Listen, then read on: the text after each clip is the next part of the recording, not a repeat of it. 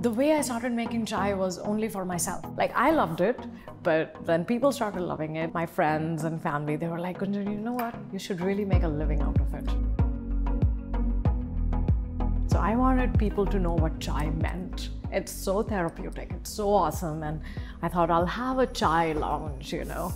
But then the idea evolved into having wines and beers because I thought, you know what? I want people to have options. And now people are intrigued and they find it fascinating that we have something that's non alcoholic, that's so refreshing. They can come with their friends who do not drink and have chai. What's the significance of chai in your upbringing, your childhood? Oh my God.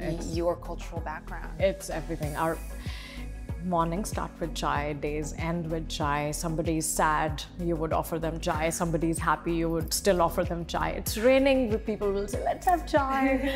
so it's just, it's everything. And the idea was to have quick bites, but comfort food at the same time, not unhealthy, but things that we grew up eating, right? So home away from home concept.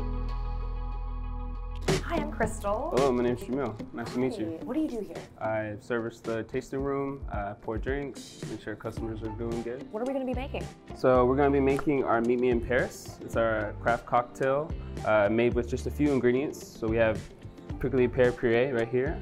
And then we have some lemon juice followed by Vinho Verde. Vinho Verde is a young wine full of citrus, has a nice finish.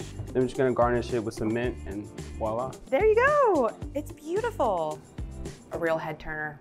I really wanted to have a space where anyone could come, forget who they are as a label, and then just chill. Yeah. This is our living room, and people who come in are our guests. That philosophy runs from behind in the kitchen to the floor till the people leave. Right, hospitality first. Absolutely. And you lead with that warmth. Absolutely. And then that was the foremost. The thing. rest of it keeps the lights on.